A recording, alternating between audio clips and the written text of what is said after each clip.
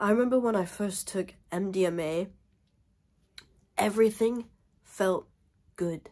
Everything felt more than good. It felt like an orgasm. Okay? Literally, I was just doing this on my hand and it felt like an orgasm. Like, it felt that good, okay? And I know that's a little, like, uh, what's the word?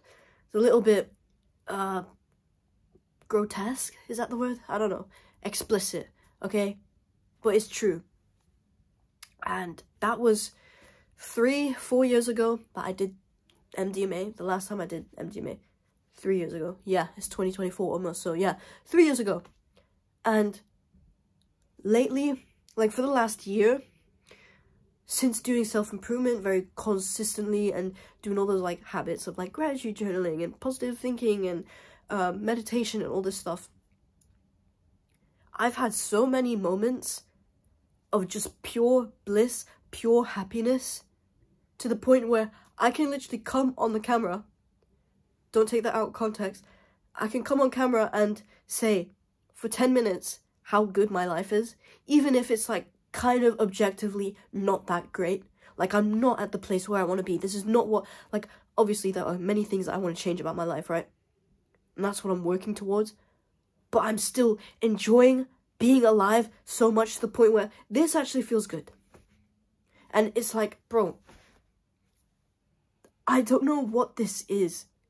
It's like, even just being alive, it feels good. And it, literally for the last like couple days, I've been in bed feeling like shit. So what is it that I finally feel really good again?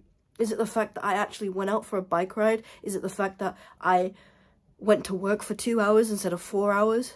And, you know, that's not a good thing because I need more hours at my 9 to 5 because I'm trying to invest all that money into, like, things that I actually want to do on the business side.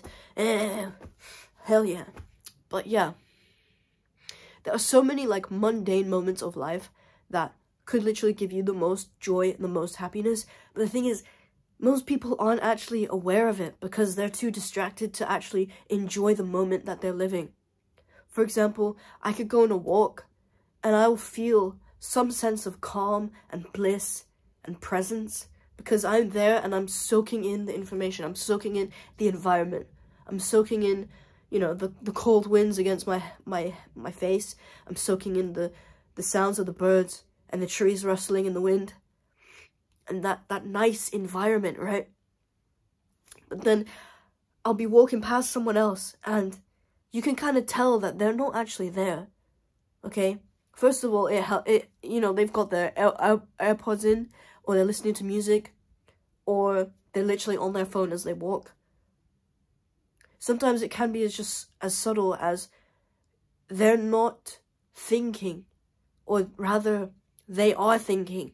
You can tell when someone's like deep in thought, when they're having like anxious thoughts, like, oh, what am I gonna do tomorrow? Oh, I'm gonna be late to that thing tomorrow that I have to plan everything. You know, you can tell when someone's like mind wandering. At least I can.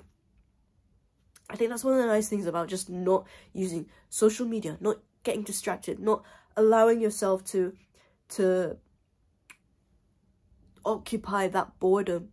If you occupy the boredom with things that are kind of boring or hard instead, like, okay, I'm bored, I'm gonna like record a bunch of YouTube videos. That's what I'm doing right now.